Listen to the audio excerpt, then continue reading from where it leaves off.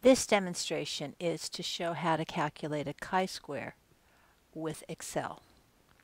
We're going to use problem 5 from exam 2 that I recently gave. It's based on some data that's actually real data from an experiment on the lineup type as it affects the lineup choice, whether it's the perpetrator, the bystander, the stranger, or whether the uh, criminal in the mock trial isn't there. And so it's basically a 2 by 4 contingency table. And I copied this table and I put it into Excel. So here we have it in Excel. And this is the observed data for the chi-square. So in order to do a chi-square with Excel, we have to have the expected values.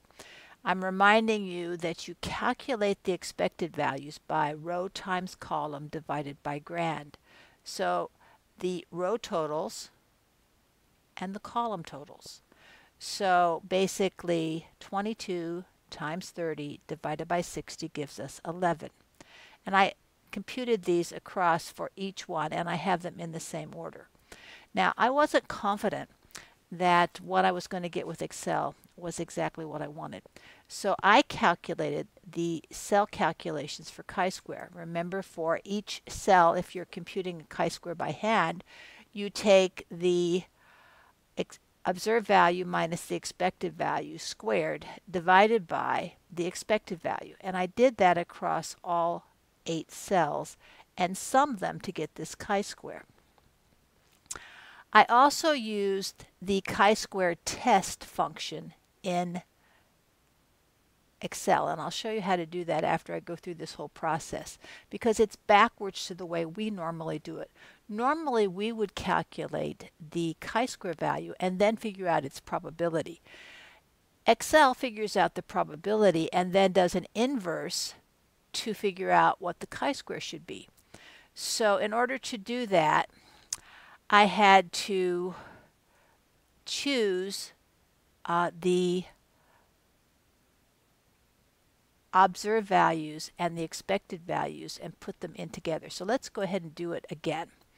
So in order to do that, I'm going to choose function. And I'm going to go down to chi-square test. Okay. And I have an actual range and an expected range. I selected the actual range, B2 to E3. So I selected the 2 by 4 contingency range. And the expected range, first I click in it. I selected that too.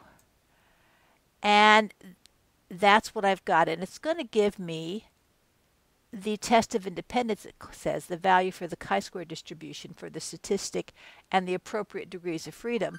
But this is really the p-value. And so there it is in order to get the actual chi-square result that you need to report, you have to so now we need to figure out what the chi-square value is. And remember, we're going to look for chi-square inverse RT. So under the function, chi-square inverse RT returns the inverse of the right tail probability for the chi-square distribution. So we say, okay, and the probability is E13. The degrees of freedom, we have to calculate that by hand. The number of rows, there are two minus one, really by hand, times the number of columns, there are four minus one, so that's three. Three times one is three. We type in three.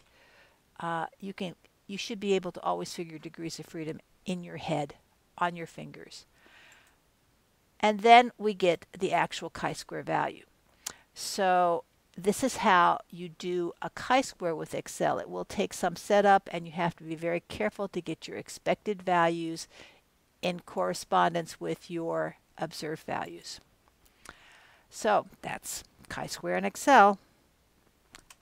Bye.